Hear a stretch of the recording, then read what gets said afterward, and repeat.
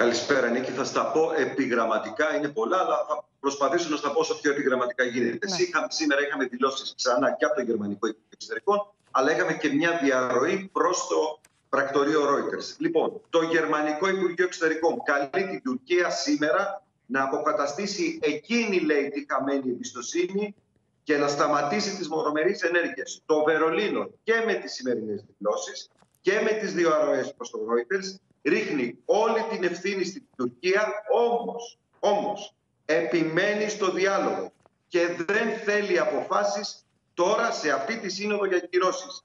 Ισχύουν, λένε, οι αποφάσεις ότι θα δούμε το θέμα της Τουρκίας το Δεκέμβριο.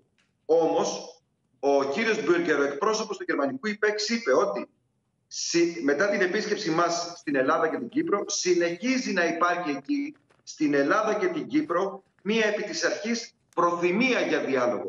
Λέει δηλαδή ότι και η Ελλάδα και η Κύπρος επί της αρχής λένε ναι στο διάλογο. Τώρα γιατί όλα αυτά; Γιατί η Γερμανία δεν θέλει να κόψει τις γέφυρες με την Τουρκία. Παρά το γεγονός ότι η Τουρκία φαίνεται να διαφορεί τελείως για τις γέφυρες και με τη Γερμανία και με την υπόλοιπη Ευρώπη.